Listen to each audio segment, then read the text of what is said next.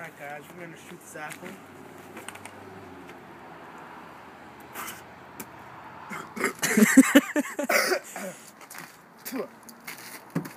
I like apples.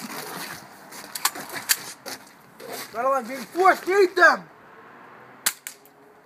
Did that go through it? Can't even see. Can only see it a little bit. It just goes right through it. Yeah. I just want to see it like explode all of a sudden. See it explode? See it explode? Can't even see it.